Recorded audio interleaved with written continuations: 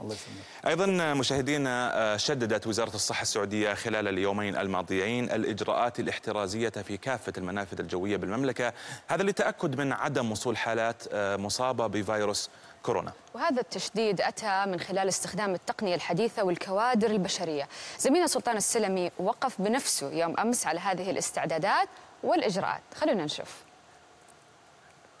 انتشرت عبر مواقع ووسائل التواصل الاجتماعي صباح اليوم. مقاطع فيديو للفرق الطبية بوزارة الصحة على متن إحدى الطائرات بمطار جدة وذلك للتأكد من خلو الركاب من أي إصابات بفيروس كورونا أو حتى حالات الاشتباه.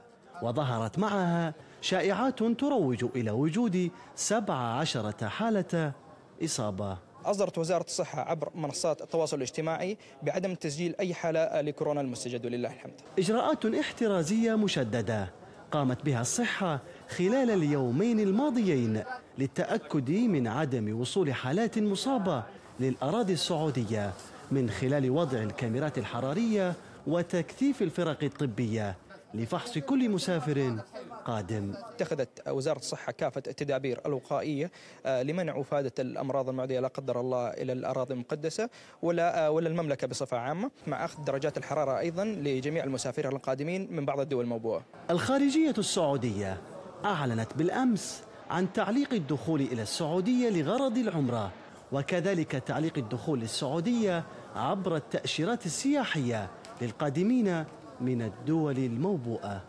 سلطان السلمي ام بي سي جدة.